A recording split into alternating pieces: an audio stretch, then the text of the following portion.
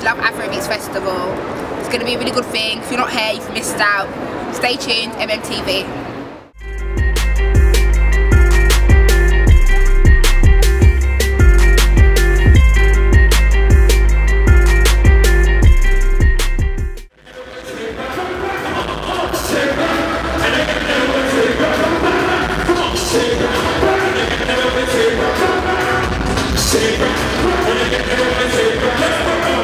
Sempre